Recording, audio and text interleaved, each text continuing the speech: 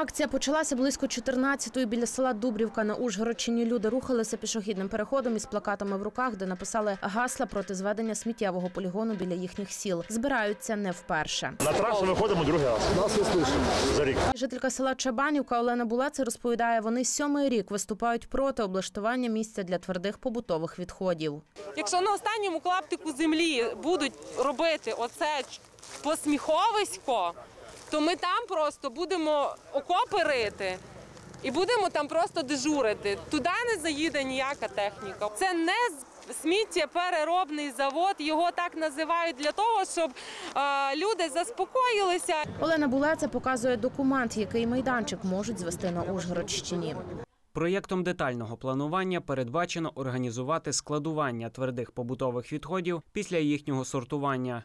Запроєктовано котлован для складування твердих побутових відходів та майданчик для біодеградації. Сортувальна лінія, яка зможе сортувати тільки 20% від усього кількості сміття, яке буде поступати, а також е, установка по добичі біогаза. От і весь вам е, сміттєпереробний завод. Читають ті. Хто буде дихати тим повітрям, хто буде пити ту воду, і ті, хто буде травити щурів, які будуть плодитися на тому полігоні. Ми за сучасний сміттєпереробний завод. За словами Олени Булеце, полігон хочуть розмістити за 700 метрів від села Чабанівка на Ужгородщині і до кілометра від Ірляви та Андріївки. Каже, для цього виділили 23 гектари. Голова Середнянської територіальної громади Руслан Чорнак розповів, землю дали тільки в тимчасове користування комунальному підприємству облради. це користування. Власником залишили селищна рада. Це не проект. Це детальний план, що може бути там. А проект ніхто ще не замовляв. Проект стоїть 13 мільйонів гривень. А в кого маєте замовляти цей проект? це Власники це будкомплект ОС.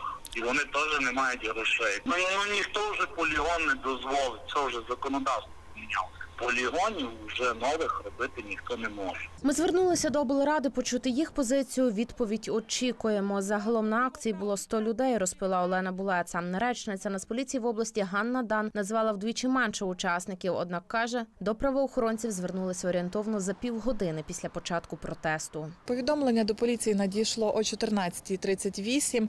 Е, Було близько 50 учасників на місці події. Е, Звичайно, були ще співробітники поліції місцевого відділення, які забезпечували публічний порядок і безпеку на місці. Загалом акція пройшла без без якихось грубих порушень, тобто до відповідальності нікого не притягували. Зазвичай е, приблизно кожні 3-4 хвилини вони пропускали е, по кілька автівок і далі знову продовжували рух по пішохідному переходу. Цього разу акція на трасі Київ-Чоп тривала понад півтори години. Нагадую, люди уже перекривали цю дорогу на цих кадрах серпень 2020-го. Тоді вони виступали проти будівництва сміттєпереробного заводу. Хотіли залишити землі під пасовища. Андріана Курта, Марія Лукей, Леонтій Николишин. Новини на Суспільному.